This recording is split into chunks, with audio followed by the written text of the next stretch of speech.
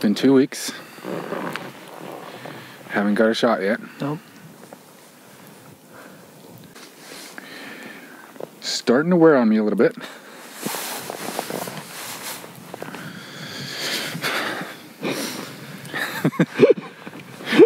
um, which one do you want to hit first?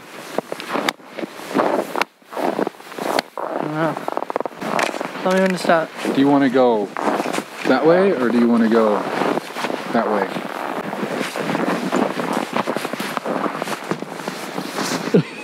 Stop. this one. Dude, I fell over and that's the one I was looking at. Well, that's a sign. I Yeah, I I don't think it really matters. I have a feeling whichever one we hit, or if we hit both, it's not going to be the last time we hit these jumps. It's just gonna be the first time.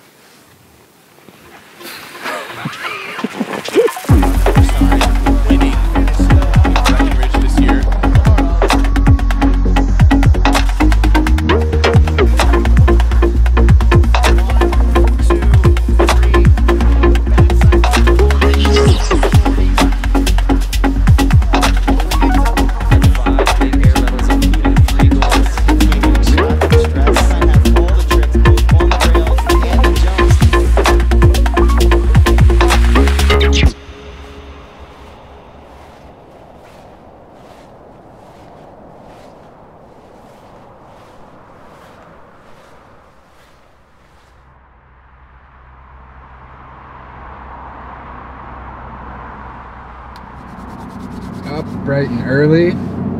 Heard a rumor it might be Bluebird today, but we went up in the storm and built a couple jumps in the last couple of days, waiting for it to snow a little bit more.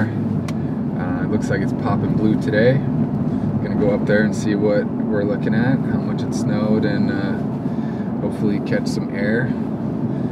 Just get back into the groove with Brandon for the first real session with him. So, Baker Boys 2021. Majestic. Aaron, how much snow we actually got there?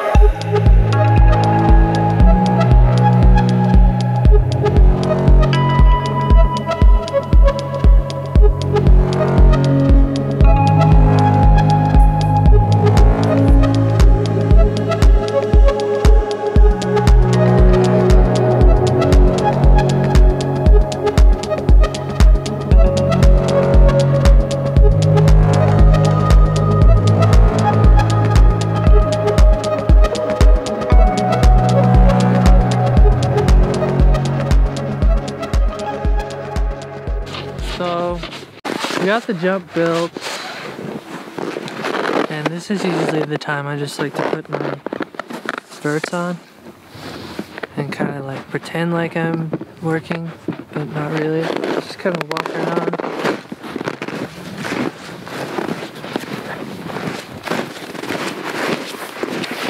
Like, Tor's actually working.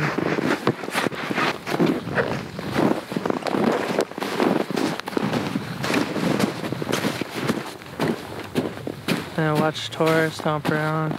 Basically, this is the time where I just stand and kind of stare at things, wonder how it's gonna go when I go off the lip, how I'm gonna look in the air, what trick I'm gonna do, and then I get distracted and I start looking at this jump. I'm like, okay, what can we do here? But as far as actually like finishing the jump, I'm not really doing much. But if I get a vibe where I'm like, like Tora kind of looks at me like, what the fuck are you doing? Like we're supposed to be finishing this jump. Then I'll just kind of start like stepping it out a little bit. See if he's looking.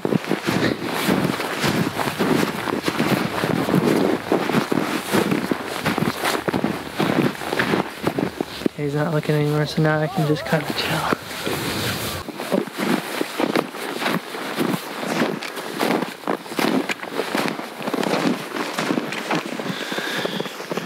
She's almost there. Yeah, dude, you just gotta stomp this out a little. That's what I was doing. I like it.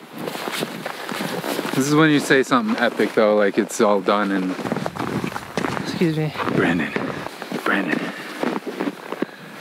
are you ready? Yeah, Yeah, I think I'm ready. yeah. so ready.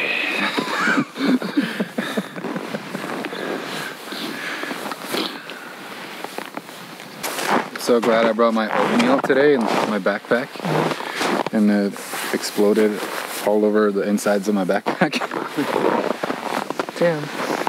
like pulling my GoPro out, put pulling oatmeal pieces off of it.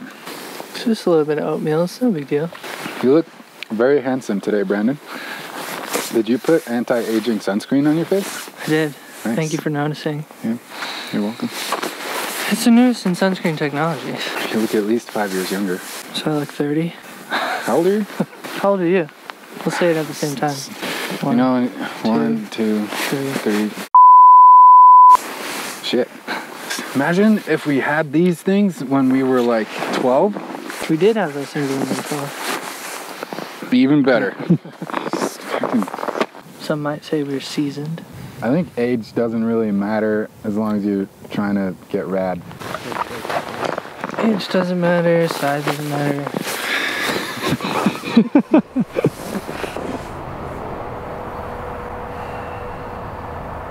Yeah, usually,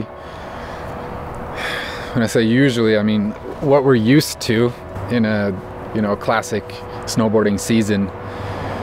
We usually do all these like strike missions where if we see a storm coming to Austria, we can just jump on a plane and we'll be there ready to go in two days and uh, being able to like just hit that window.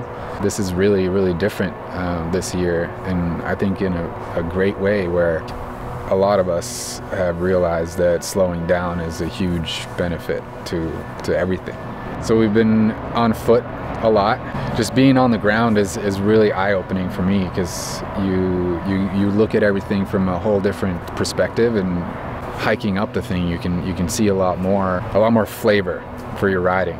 We usually go by sleds and you just bypass so much, which which is really cool and, and heli riding too. It's it's really sweet when you get those opportunities. But this is just physically just hoofing it up the mountain and you're you're forced to use the the engine a lot more in a different way. So it seems almost perfect for this season of um, taking things a little bit slower.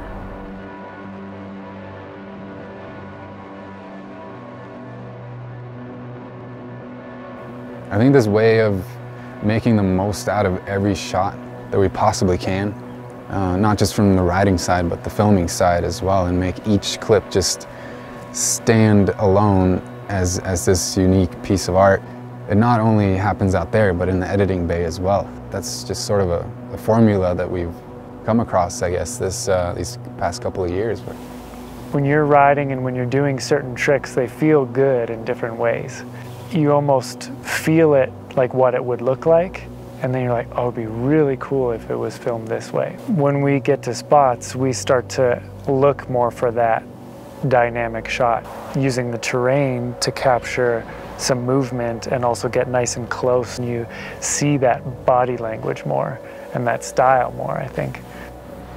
And when you're getting ready on the trailhead and you're putting your snowshoes on and you have your 50 pound backpack and your tripod and your board and everything else, and you know it's going to be a long day and you're hiking way out just to attempt to get those shots that you've been thinking about. And a lot of the time it doesn't work out. Sometimes it turns into something different and you're like, that's cool too. That's something that sparks a new tangent of like, yeah, we can get it that way.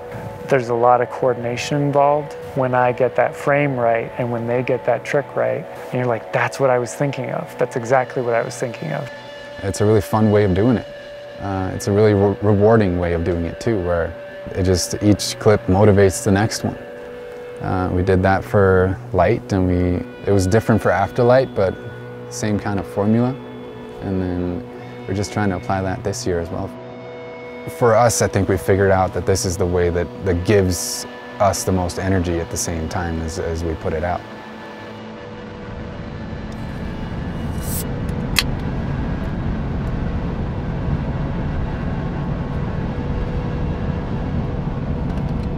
On the road again. Baker's a wrap. We did it. Did we did we do it? We did it. We did the thing. Fitness reality check 3000. for all of us. And when I say all of us, I mean you.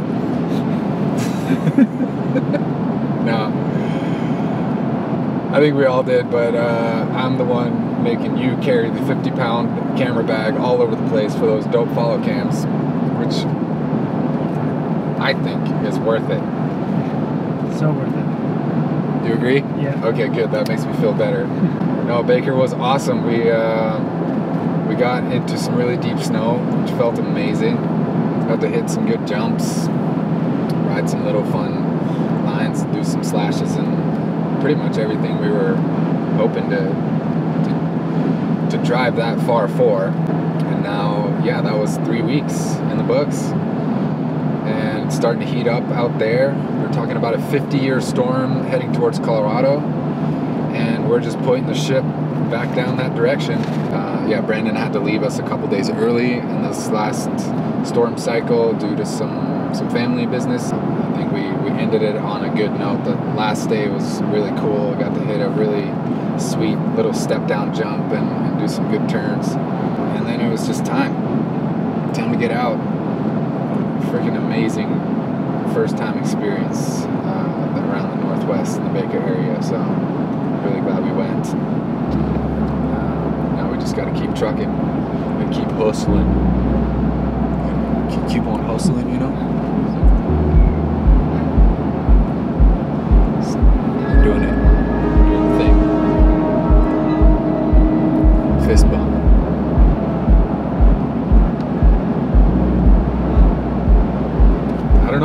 These things. No, that's good.